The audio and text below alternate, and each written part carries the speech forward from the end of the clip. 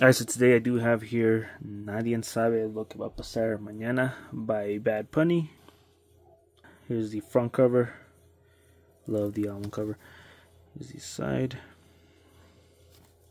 And the back, just got the track list right there. I did see Bad Bunny uh, when he went on tour for this album. They did sell this album on tour, but I didn't buy it. I was waiting for it to go to retail stores, and it finally did.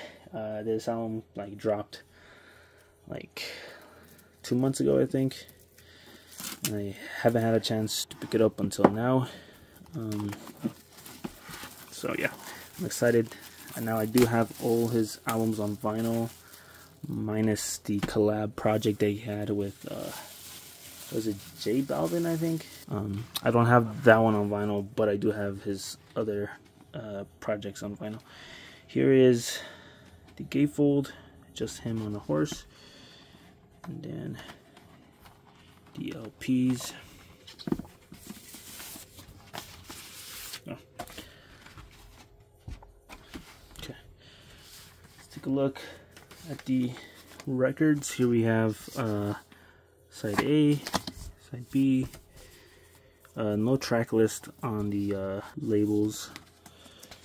Here is the first LP. It is on a nice color blue record. it's like a solid blue. It's actually pretty nice, honestly. I still can't believe he never dropped Un Verano Sin Ti on vinyl.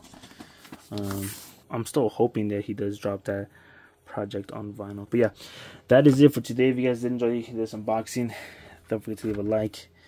And if you guys do want to pick this up, I'll leave the uh, link for it in the description down below. And until next time,